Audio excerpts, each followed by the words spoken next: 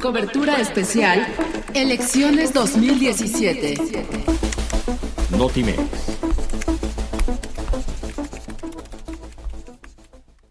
El Instituto Electoral del Estado de México enfatizó que hasta el momento se han presentado incidentes menores en el desarrollo de la jornada electoral. Se instalaron el 100% de las casillas, todas están instaladas, todas funcionan con normalidad, con todos los funcionarios de la mesa directiva y la votación va transcurriendo con toda normalidad.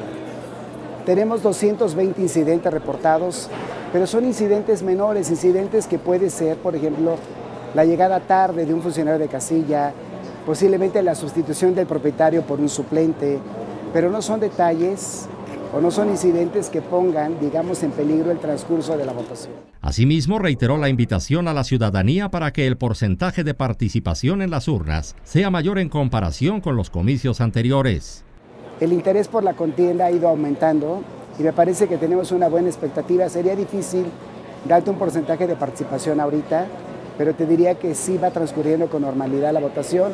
Hay casillas con una importante afluencia de electores representan algo así como la tercera parte de la lista nominal de electores, jóvenes menores de 25 años. Y la invitación es para que salgan. Tenemos un importante número de jóvenes que votarán por primera vez en el Estado. La idea es que salgan, que participen, que construyan democracia en este Estado. Con información de Ashley Espinosa e imágenes de Raúl Monroy, enviados Notimex.